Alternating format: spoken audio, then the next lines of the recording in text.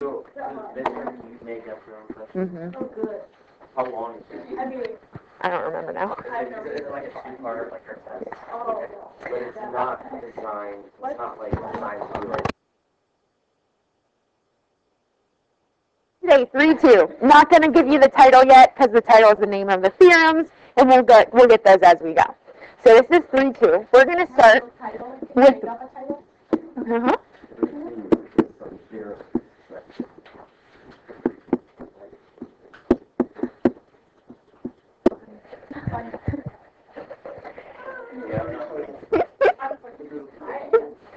Okay, now, as with most theorems that we've kind of talked about, there are conditions for both of these today.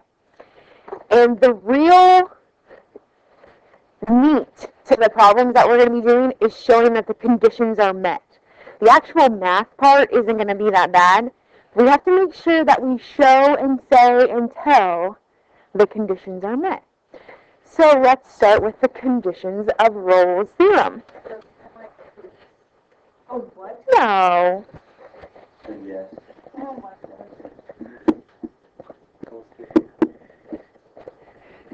First condition for Rolle's theorem.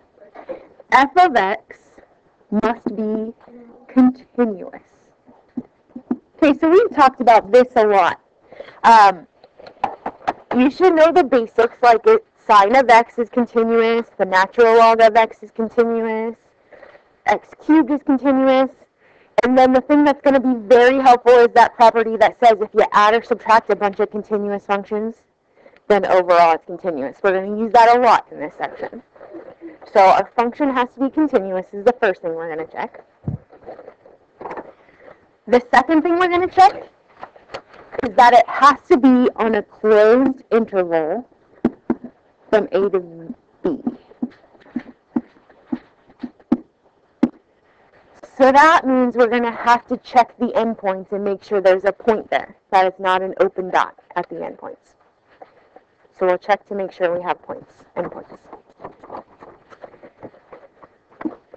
For this theorem to work, it also has to be differentiable on the open interval from A to B, which means you have to be able to take the derivative everywhere between the endpoints. So for this theorem, we can't have corners. We can't have cusps. We can't have vertical tangent lines for this theorem to work. Okay, then the fourth and the final condition is f of A has to equal f of B. So that means that the two endpoints have to have the same y value. So there are the four conditions, and we'll go through showing those in a moment. Yes, Will. hmm Okay, what that means is that the endpoints have to exist. There has to be something on A and B. It can't be an open dot. Okay. All right, let's actually say what the theorem is now that we have these conditions. If these conditions are met,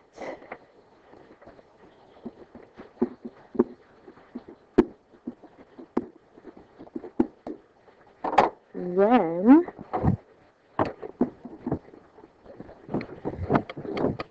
there is at least one C value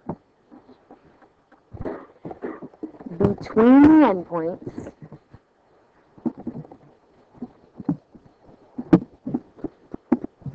Where f prime of C zero.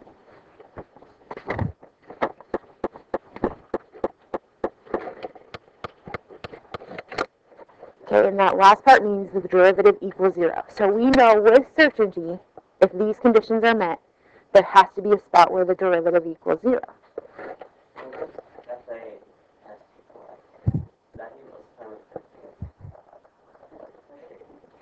Um, that's one situation, yeah.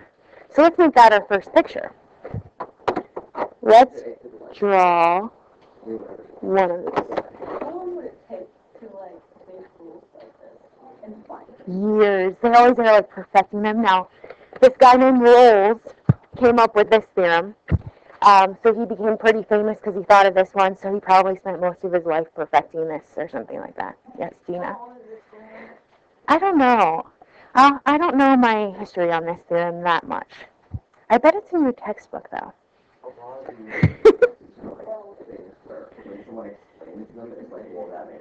It's like a well, duh, but someone had to think of that first. Yeah. Pretty cool. All right, so let's look at this parabola type shape that John was asking about. Let's make A and B go right here just to kind of visualize this theorem. So let's think about the conditions. Is that function continuous? Sure. Is it on a closed interval? Sure. Is it differentiable everywhere? Why, yes. Are the two endpoints having the same y value? Yes. Okay, so all four conditions are met. That means that somewhere in that graph, there has to be a spot where the derivative equals zero. Can you tell where that is? Oh, look right there. It's got a little horizontal tangent line going on. Rolle's theorem works. Okay, I want to give you another picture.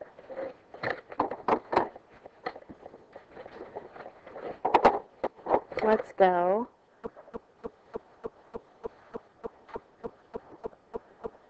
Like this.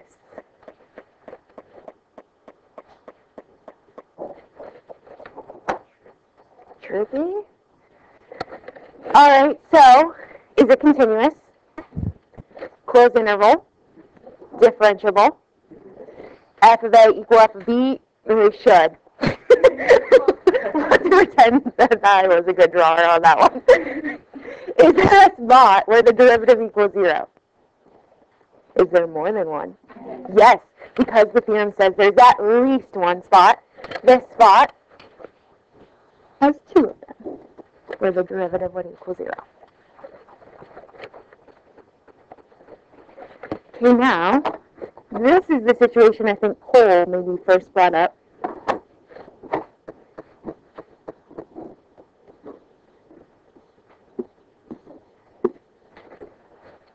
Continuous? Closed interval? Differentiable? f of A equals f of B? Where does the derivative equal zero? Everywhere. So that one, Rolle's theorem is every value, every c value between a and b. It's Rolle's theorem. There's a derivative of zero. Okay, what about this one?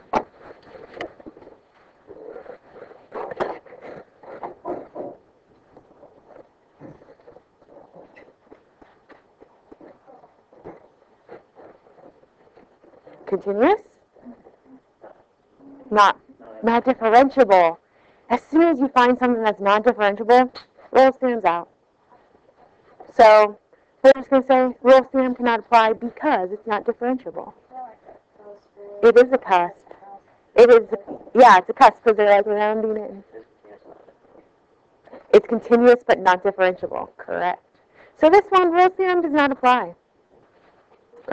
Questions? What were the three non-differentiable, the cusp, the corner? and the vertical tangent line. So it's going to look like um, this. Right at 0, 0, the tangent line is like that. So the slope is undefined. Good question. All right, now, another question coming? Okay. Okay. All right, now let's see what it looks like with like actual function notation. Here's what the question will look like more like in your homework. And maybe on your quizzes. Find the x-intercepts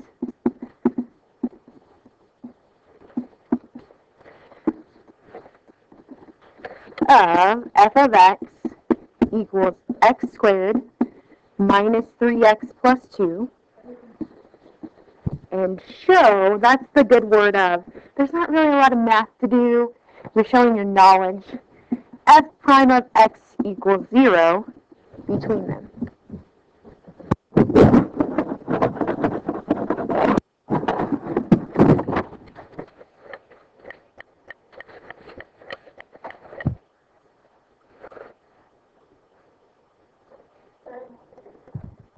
We'll have a little bit. It won't be totally disappointing for you. okay, now, so what they're making us do is they're making us come up with our A and our B. they're telling us that our x-intercepts are going to be our interval that we're working on. So how do we find x-intercepts? We factor. We set that original equal to 0. Save some math. A little bit. x squared minus 3x plus 2 equals 0. What's our combo? So then x is going to equal 2 and x is going to equal 1. So our interval is going to be 1 to 2 that we're working with. They won't always make you find your own endpoints, but sometimes they might. Okay, now, here's the part where you're just showing that you know the conditions. So the first condition is that it's continuous. How do I know that is a continuous function? That was a really cool voice throw there, Dina. I'll let you do the next one. No, I want Oh. Oh, okay. okay, so it is continuous because each term is continuous.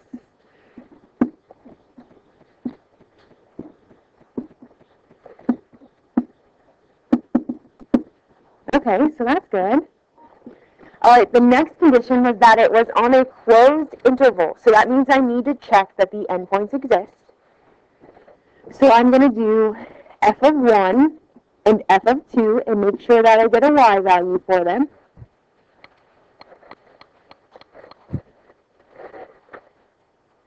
So if I plug a 1 into the original, 0. If I plug a 2 into the original, okay, now guess what? That not only showed that it had a closed interval, it also showed the fourth condition that the endpoints were equal.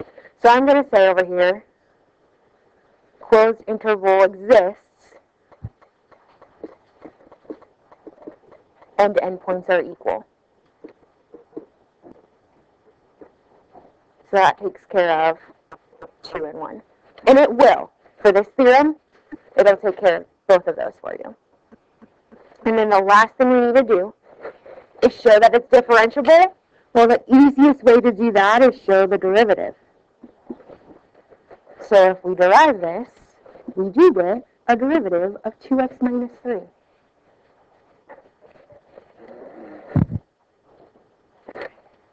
Okay, so there are our conditions. That's how we kind of show we're smart, we know what Rolle's theorem is. Now we just have to figure out where that c value exists. Where does the derivative equal 0? So, set the derivative equal to 0. Well, there is where it's going to equal 0. Ta-da! Yeah. Oh, not really.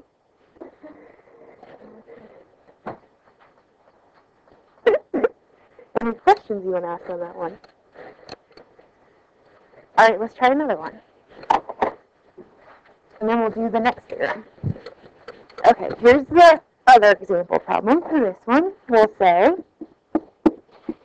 we're going to go with f of x equals x to the fourth minus 2x squared. Find the values of c on the open interval from negative 2 to 2 such that f prime of c equals 0.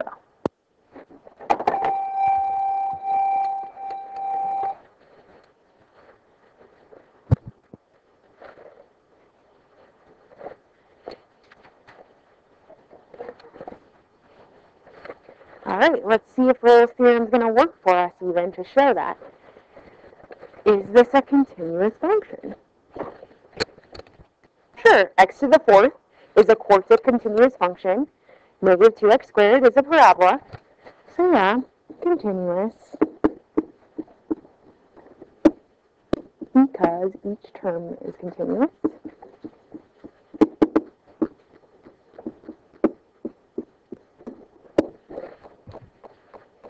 Okay, second thing is, do the endpoints exist? So let's check out f of negative 2 and f of 2.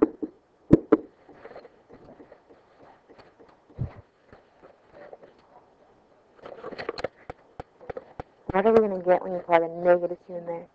16 minus 8. What about positive 2? Same thing. So not only do the endpoints exist, but they're also equal.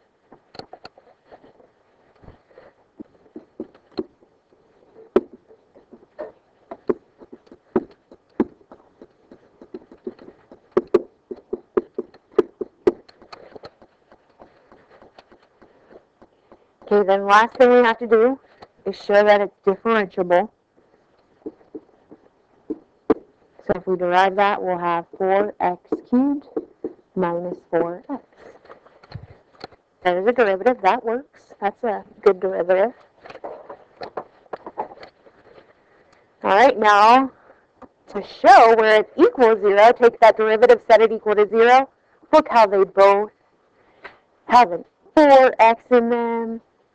And then look how we get to do difference of squares.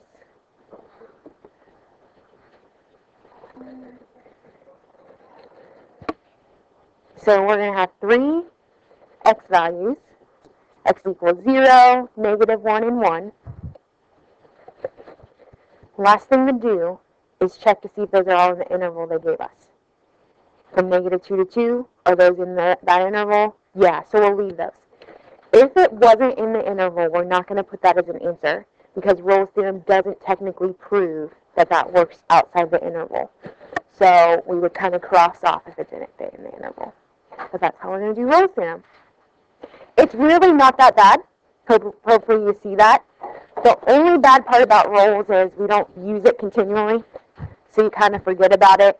Um, so it's one of those, like, especially on the midterm, it'll be a little bit more fresh in your mind.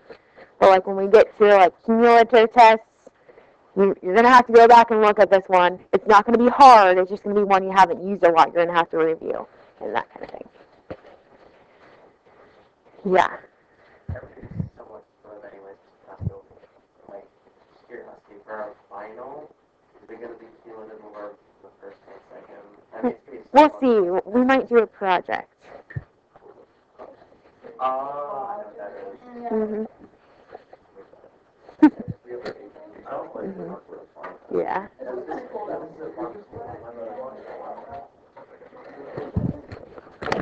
All right. Let's see the second theorem, which is the mean value theorem.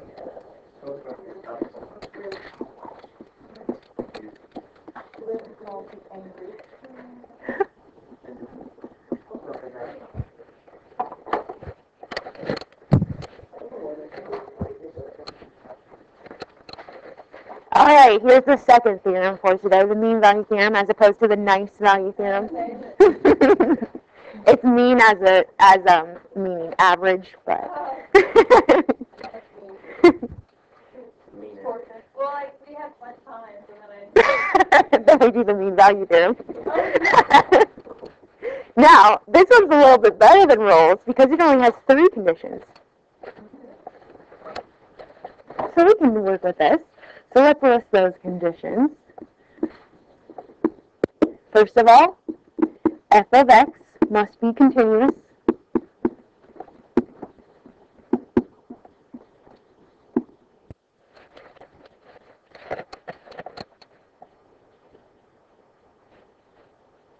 Secondly, we have to have a closed interval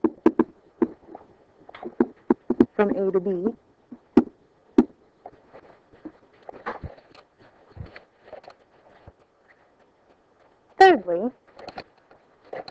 x must be differentiable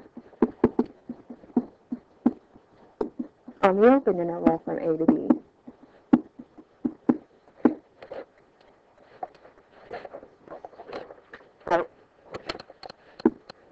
Thank you.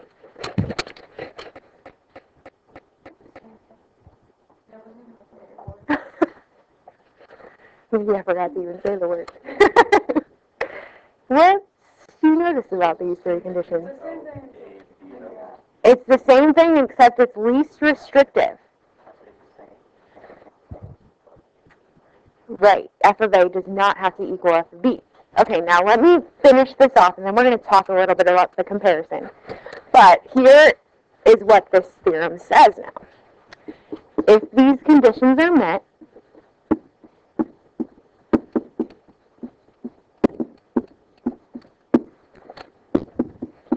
then there is a C value such that, it just makes it sound important, such that its derivative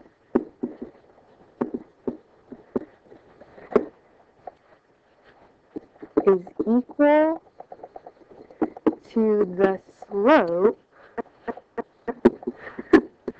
of the line connecting the endpoint. It's very wordy, but it's not going to be that difficult, I promise.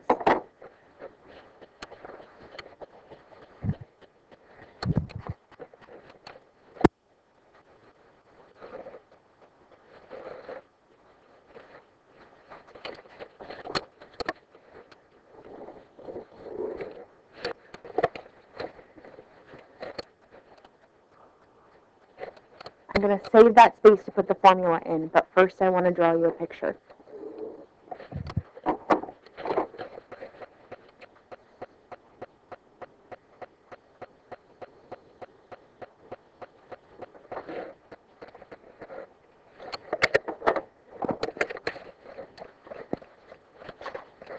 Okay, so the conditions are continuous, closed interval, differentiable. Those are all met. What this wordy part is saying is there is somewhere on that graph where the derivative or slash the slope is the same as the slope of this line. So the line that connects the endpoints, we could call that a secant line if we wanted to. Somewhere has the same slope as that. Do you know where? Maybe like. Right there. Maybe probably even right there. Might be a good one.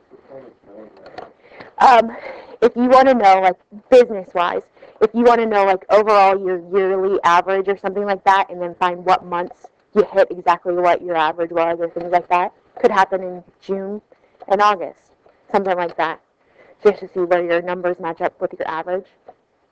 Hence mean. Okay. Now here is here is the formula. Somewhere there is a slope that's equal to that line. Okay, so what we're going to do is put f prime of c. And then how do you find the slope of that middle line connecting the endpoints? You do your old slope formula. f of b minus f of a over b minus a.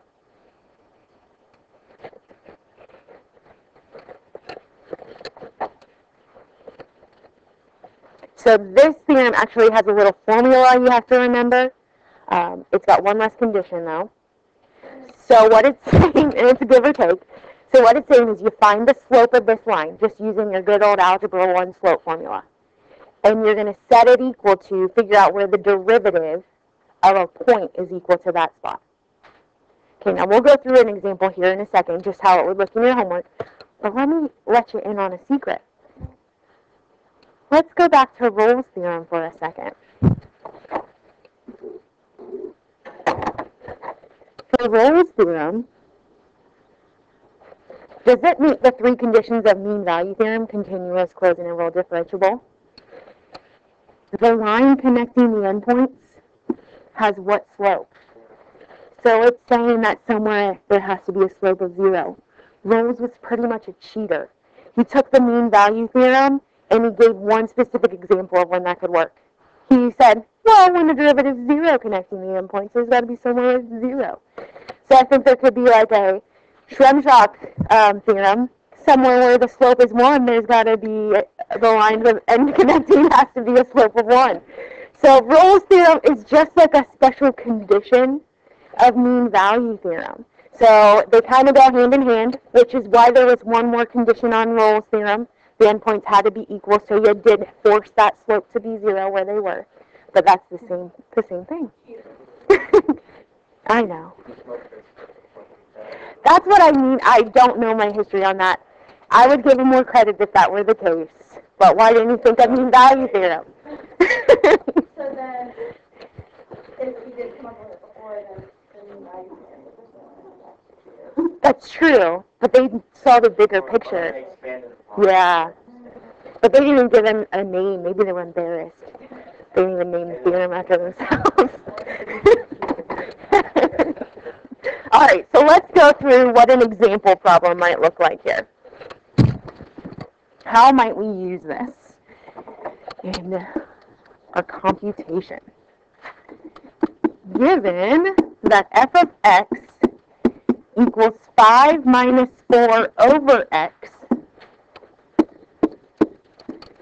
find the values of c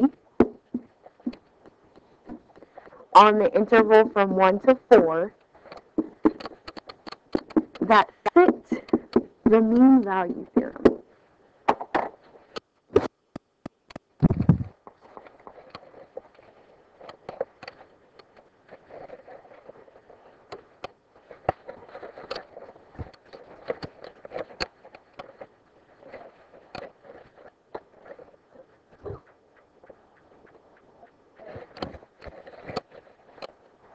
Okay.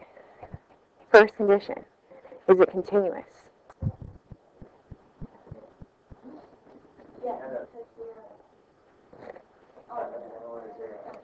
Okay, so 5 on its own, is 5 a continuous function? Sure.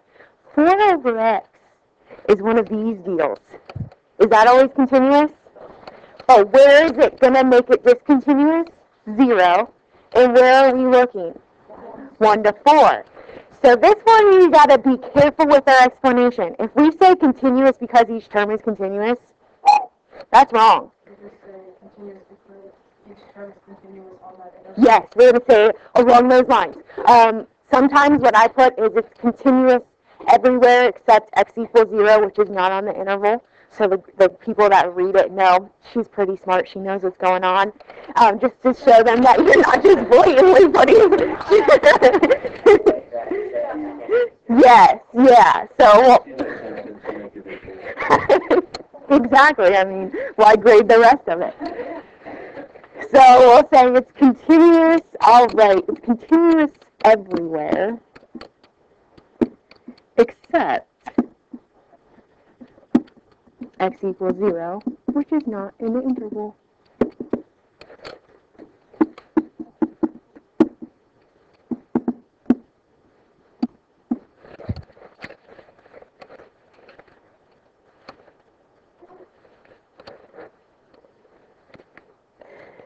Then the second condition is to show that it's on a closed interval.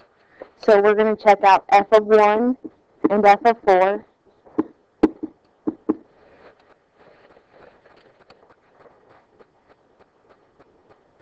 If we plug a 1 into the original, convenient. 4 is 4. How do you know? All right, so we've got a closed interval. They work. They are not equal to each other. So Rolle's isn't going to work, but eh, we're fitting the mean value theorem. So we've got a closed interval. All right, differentiable. We're going to derive this. This is going to this is going to be one of those interval things because there's going to be part of it that's not differentiable. But we can handle that. So let's derive this. What's the derivative of 5? 0. Now, if you want to get rid of quotient rule, that is really negative 4x to the negative 1. And we can just do a power rule. Mm-hmm. Now, that is not differentiable everywhere. It's at 0, you can't find the derivative of that. It's undefined at 0. But again, 0 is not in the interval. So we can say something like differentiable on the interval.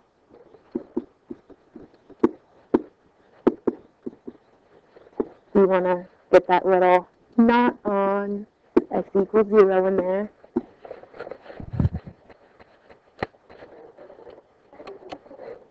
Did somebody, somebody say a question over there? Yeah, This right here, Oh, yeah. Yeah. that too. So when you bring your negative one down, you subtract one from the power. Alright, we're ready to do the formula for this one. Okay, so the formula says f prime of c. That means the derivative. We found the derivative, so that's going to be the one side of our equation. 4 over x squared.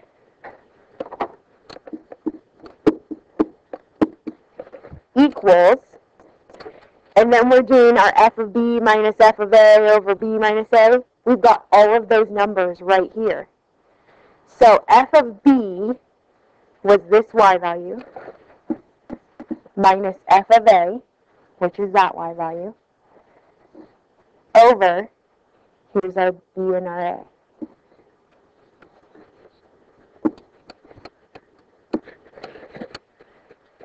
So that's just going to be 1. Not always going to be the case. Not always going to be that lucky. And then we solve for x. Little cross multiplying. What's x equal? Plus or minus 2. What is our interval? 1 to 4. So we're going to say 2 is our final answer. At 2, that spot has the exact same slope as the slope connecting our endpoints.